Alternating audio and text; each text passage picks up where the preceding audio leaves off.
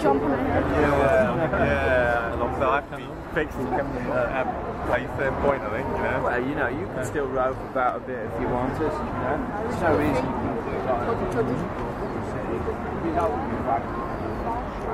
Well, no, yeah,